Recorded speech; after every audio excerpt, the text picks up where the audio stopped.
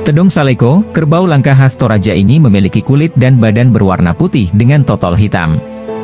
Masyarakat sekitar lebih akrab menyebutnya dengan nama Tedong Saleko. Fantastisnya lagi, harga sapi ini bisa mencapai miliaran rupiah, serta menduduki kasta tertinggi di dunia kerbau Toraja. Keunikan Tedong Saleko kerbau berkasta tinggi ini memiliki iris mata yang berwarna putih.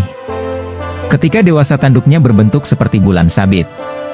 Pada bagian tubuhnya, kulit sapi memiliki totol indah.